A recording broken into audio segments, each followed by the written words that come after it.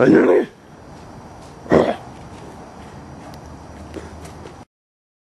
Hello? Jason? Is that you, buddy? Oh no. Did it happen again? Okay. This is my fault. This is not your fault. Leave the pizza on the doorstep. Come on back to the shop. I'll reimburse you for the delivery, and we'll have you work in the kitchen, alright?